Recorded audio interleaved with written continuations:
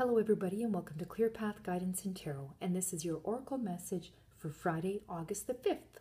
And the card that I pulled today is Celebrate You. This seems to be a week of um, all about being all about you. Monday was Give Yourself the Best. Today is Celebrate You. Listen to Music was yesterday.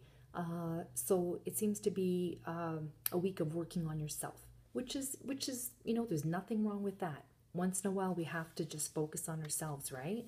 Rather than the people that we love and friends and so forth. So you're flowing in the grace of your spirit and it shows. There's light in your eyes and fire in your belly. You're a joy to be around and an inspiration to others. Stay present to your inner radiance and remain focused on your spirit. Let it continue to lead you day by day. And don't be afraid to tell others about your joy. You've been faithful to your spirit and the results are beginning to show. Now is the time to celebrate. You're a delight to the heavens and those around you. Your light brightens and the world and up, world and uplifts others who have lost their way.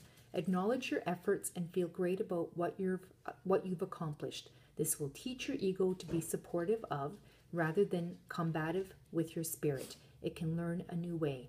The more you openly celebrate your spirit, the more your ego will relax and begin to trust it. When ego and spirit become partners, you'll begin to live an unbelievable, charmed life. You're on your way. Keep it up. All right, everybody, have a great Friday. Bye bye.